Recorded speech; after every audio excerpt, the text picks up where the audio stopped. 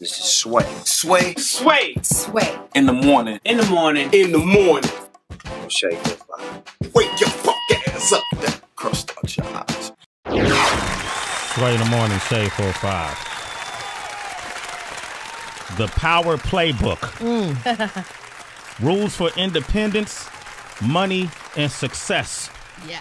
By Lala Anthony. Hello, everybody. What's up? what's up, La? What's up? We looking at you now differently. Why? Because I always looked at you as my little sister. it's true. Because our, our history runs deep. But I'm still your little sister. Yeah, but I'm looking at something different about the you, you and me, the two of us, what is that? our bank accounts. I'm like, what is that? our bank accounts, and that's why when I was reading through this book, I'm like, damn, I remember La first came to L.A. and Right. sleeping on floors or whatnot. No, seriously. seriously sleeping on, and you write about that in the book, right? Yes, definitely. I write about that. And before that, you know, interning with Luda down in Atlanta. I mean, we had no money. I remember we got an apartment and we had no beds or furniture. We were just sleeping on the floor. Like, we just really grinded it out. And I talk about that journey just to be an inspiration to people out there who feel like there's no hope, they can't be successful, they can't do it. So I talk about my experiences and how I went from nothing to where I'm at now. Yeah, and and and, you and, and where you're continually to go. Yeah. You know, and yeah.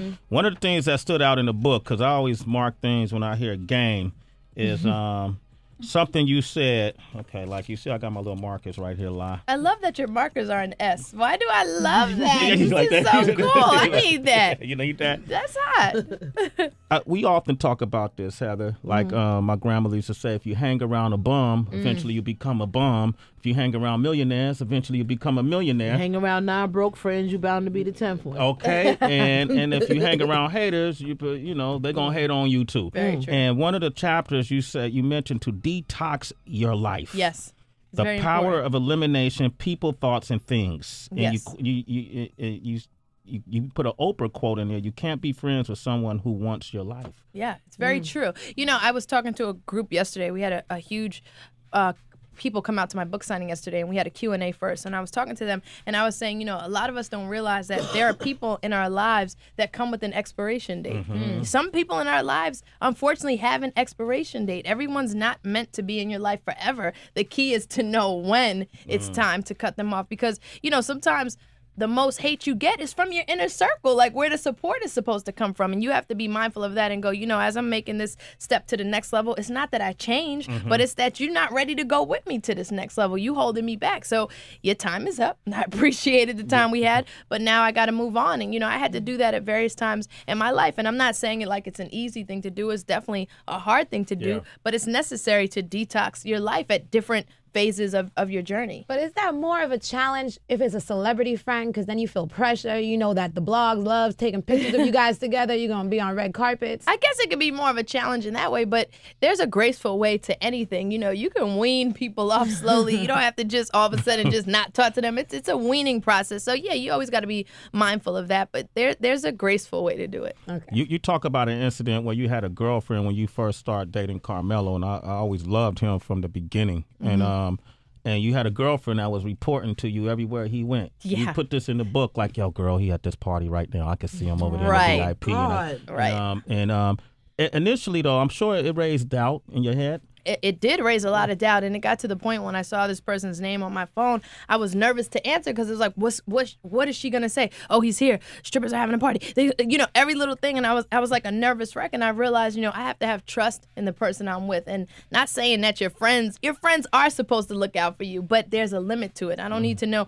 eh, just walked in five people now there's 10 now you know i don't Yeah. need to know every little thing because it was raising doubt and it was causing commotion in the relationship and the relationship was still so new so i didn't need that hecticness in the beginning of the relationship. Mm. Y- y'all relationship to me has i mean it, no one's relationship is perfect you know mm-hmm. but it's been a I, last time i saw you guys together was at this my moment of stunning. Heather b you were there with oh. me.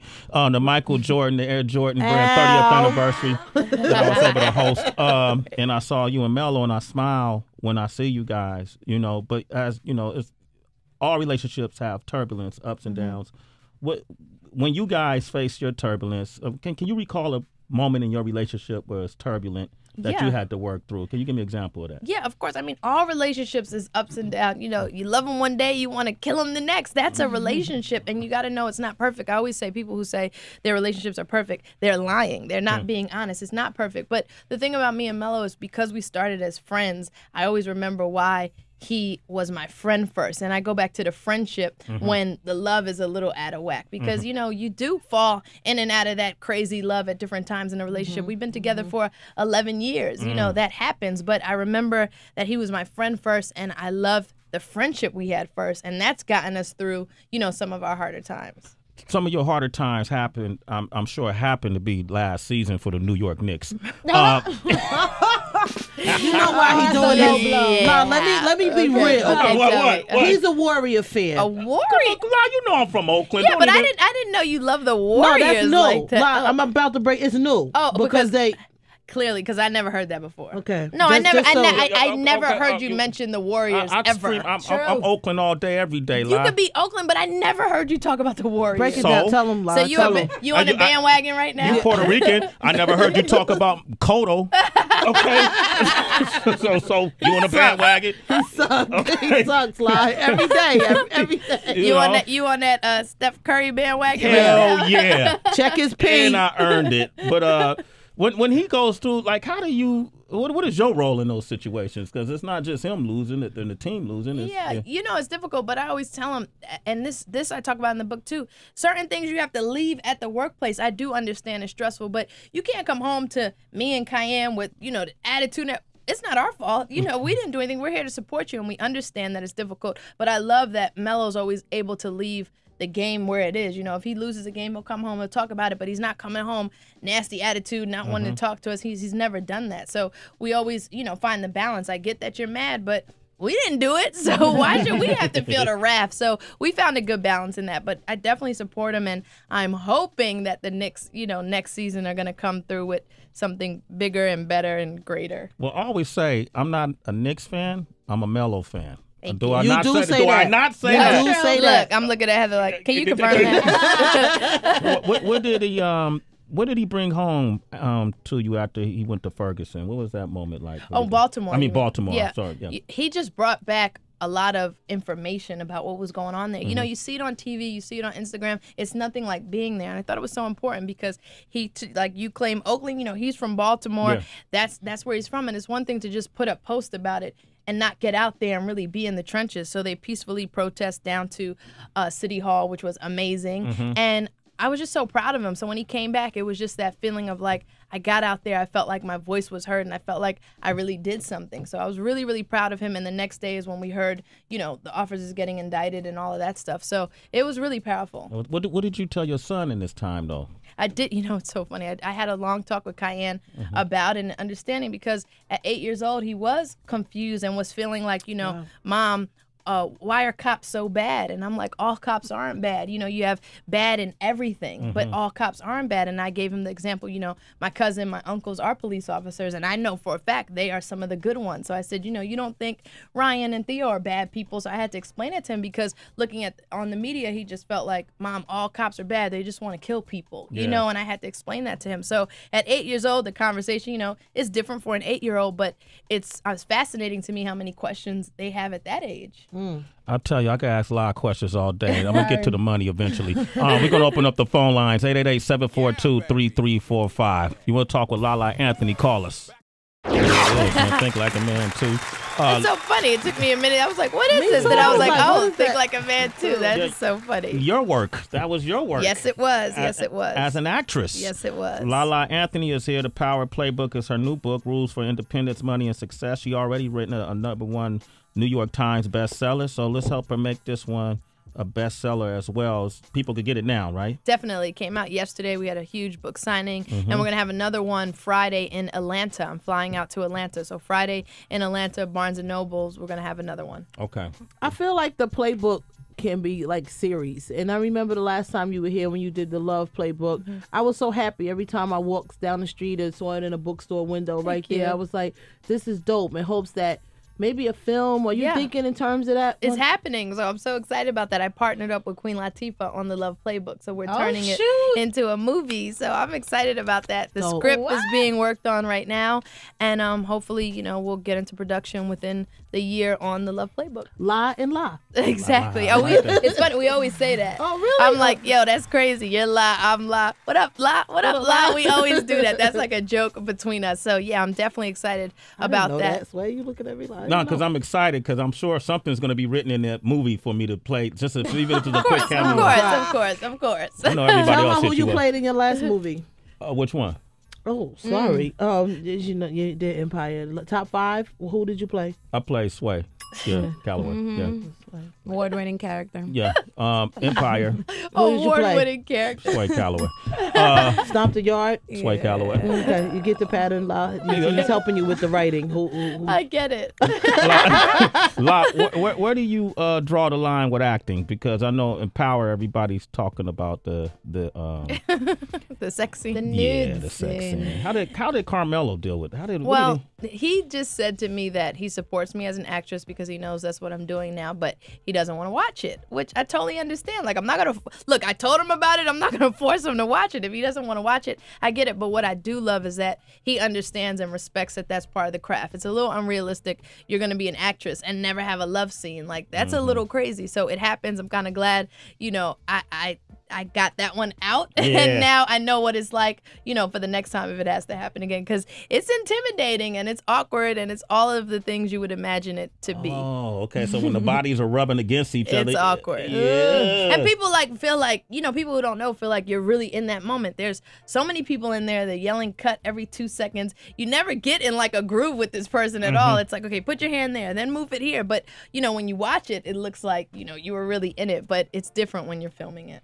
It's interesting because in your book you talked about changing your mindset and saying different things to yourself instead of "I wish" or "I should have," Mm-hmm. or you talked about um, how you wish you could be as good of an actress as Rosario Dawson, Right. and you start changing your mindset. Right, right. What was that? What what what, what was that change? Well, for me, I see, and, and I can admit this. Like, I always found that acting wasn't something that came natural to me. So I figured, okay, this is not coming natural me, to me. So what can I do? Oh, I know what I could do. I can learn how to do this. I can learn how to do this because I know I can learn things. I learned radio. I learned television. I can learn it. So then I just started taking acting class all the time. This Sunday, even now that you know I'm getting great acting jobs, I was in an acting workshop for six hours on Sunday. Six hours sitting in a workshop. People I didn't know, literally sitting in the back of the class, taking notes, just taking it all in. So I talk about in the book. It's about putting the work in. You can't sit and say I wish I should have, and you watching the whole world go by and you're not doing anything about it. So hmm. I learned how to be an actress. And now I'm seeing all those hours put in finally paying off with everything I'm doing. I just got back from LA. I wrapped a movie with Larenz Tate and Lance Gross, which was really fun. I, I admired Larenz for many years. You know, I did that. Have another movie I'm about to work on, another TV series that I just recently uh, booked. So it's happening now. Yeah. You know, if you work hard, it will happen. It might not happen right away. I've been going at the acting thing for a while now, yeah. but it's happening now. Damn, did you hear all those stunts right there? Damn, I, I lost count. All right. Uh, okay. All right, let me, let me take a couple uh, uh, calls. Brandon in Florida. Brandon, good What morning. up, How you doing? Brandon? Brandon. Hey, Brandon. Hey, good morning. How's it going? Going good.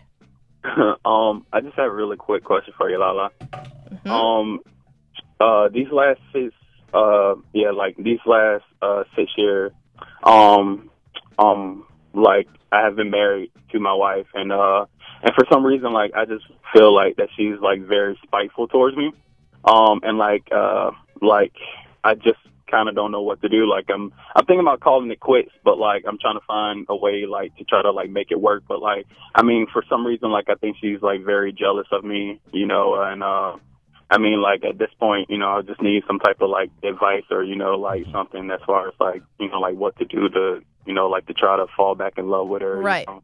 Well, I would definitely say, you know, a relationship isn't going to survive if one person is jealous of the other person. You're supposed to be working at a te- as a team and support each other. You know, it would never work if me and Melo were jealous of each other and, you know, I wanted what he had and vice versa. You know, you have to work as a team. But also, most women don't become spiteful for no reason. So you got to figure out what the source is, what got her to become spiteful in the first place. Was it something that you did? Was it a mistake that you made? And kind of go from there. So definitely wish you the best. But two people in a relationship and one person is jealous of another, that's never going to work.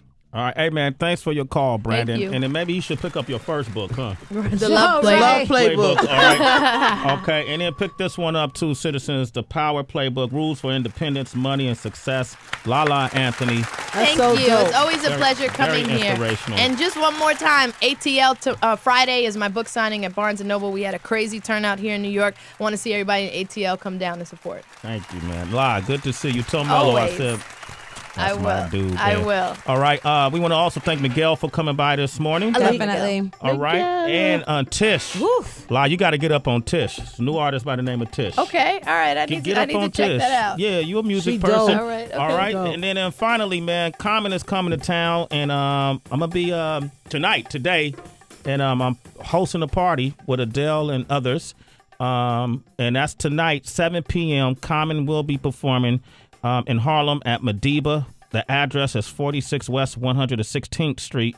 Uh, man, I got a pair of tickets for somebody. If you could find your own transportation, uh, come up to Madiba. It's open to the public, though. if, Um, if you don't get these tickets in Harlem, 46 West 116th Street. And there's two shows. One is at 7 p.m. and another is at 9 p.m. And if you want to get tickets, it's um Miss. What is that? Careful? mistharlem.com. Mist, M I S T, harlem.com. All right. Uh, La, thanks again for coming Of by. course. I'm looking at the Common thing. I'm like, where's that show at? What time is that? I mean, I love, I want- love you want- you want a pair of tickets, La? I, I think I'll take a pair. I know Dice would want to go. That's Uh, fun. Dice gonna wanna that, go? That's right I up mean, Dice's what- alley. I would definitely, we'll definitely take a pair. So, Sway, how people supposed to get the tickets that you're giving away? Call now. Okay, oh, call oh, back. Oh, Uh, I'm sorry. you Yeah, never- yeah, yeah. yeah. If you're trying to say that, oh, I'm 888-742-3345. Thank you, Lala Heather. just ganked y'all tickets. Yo, La, I'm trying to get you. You better hurry up. You better hurry up and call. All right. Tracy, how can they reach you?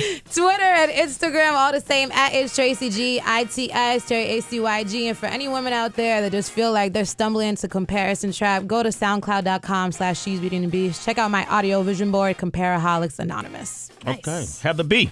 Hit me up at the happy hour, WHB on Instagram and Twitter. Also, citizens, thank you so much for all the love yesterday. You love those margaritas. You need more drink recipes. Make sure you go to the happy hour with heatherb.com. You can reach Lala directly on her social media. Yes, it's just at Lala. If you if you can't find me, then that's a problem. That's really easy. At Lala on Facebook, Twitter, Instagram. I'm at Real Sway on Twitter and Instagram and go to swaysuniverse.com. You can see all these lovely videos of all our great guests. Yep. And then make sure you subscribe to the YouTube channel, Sway's Universe. And until tomorrow, we have, well, I'll see you tonight at Madiba. Come to Harlem if you're in the tri state area, 7 and 9 p.m. Come see Common. Till tomorrow, we have nothing left to say. It's Sway in the morning, only On Shade 45.